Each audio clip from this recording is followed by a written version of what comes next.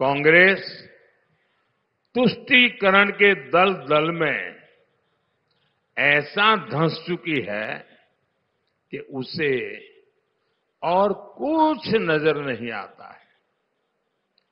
कांग्रेस की चली तो कांग्रेस कहेगी कि भारत में जीने का पहला हक भी उसके वोट बैंक को है। अपने घोषणा पत्र में कांग्रेस ने लिखा है, कांग्रेस सरकारी टेंडर में भी अल्पसंख्यकों को हिस्सेदारी सुनिश्चित करेंगे। यानी कांग्रेस ठेकेदारी में भी धर्म के आधार पर कोटा देगी। कांग्रेस का इरादा खेलों में भी अल्पसंख्यकों को प्राथमिकता का है। यानी क्रिकेट टीम में कौन रहेगा, कौन नहीं रहेगा, ये कांग्रेस अब धर्म के आधार पर तय करेगी।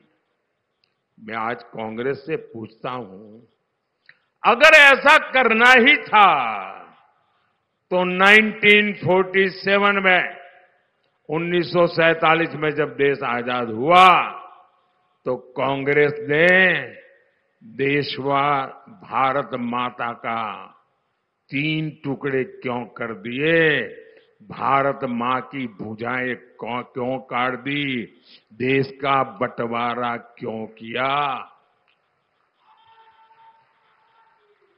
47 में ही पूरा देश आप पाकिस्तान बना देते। उसी समय भारत का नामो निशान मिटा देते। मैं आज दो टूक कह रहा हूँ, और ये कांग्रेस वाले और उनके सारे चट्टे बट्टे, जरा कान खोल के सुन लो। और मैं बराबर पूरी ताकत से कह रहा हूँ, कांग्रेस वाले और उनके सारे इंडिया अलायंस वाले, कान खोल करके सुन लो। जब तक मोदी ज़िंदा है।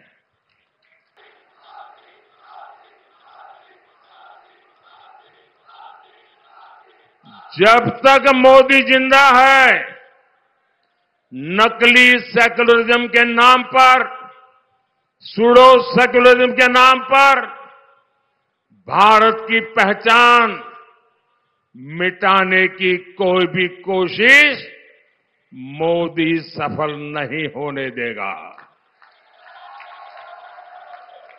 और ये हज़ारों वर्ष पुराने भारत को